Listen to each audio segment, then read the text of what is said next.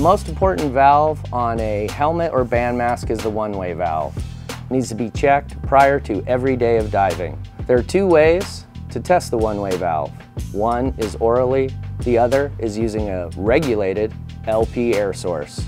Open up either the defogger or the EGS. I'm going to choose the EGS.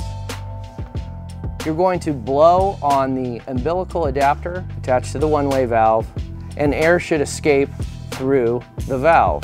Then you will suck on the umbilical adapter and no air should be sucked through the open valve at the EGS.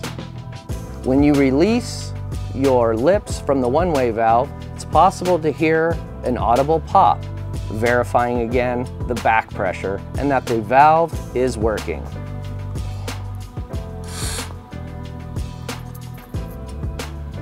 If you're able to suck air through the EGS or defogger, it's an indicator that the one-way valve is no good and must be replaced or rebuilt.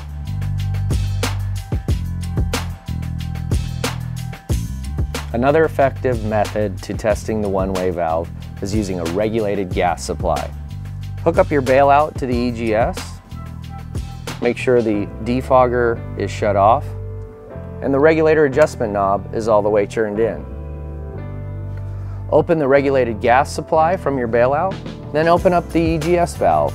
No gas should be heard coming out of the one-way valve. You can also use a bubble solution by simply soaping up the end of the valve. You will observe to see if bubbles are formed. If gas is coming out of the one-way valve, do not use it. Rebuild or replace.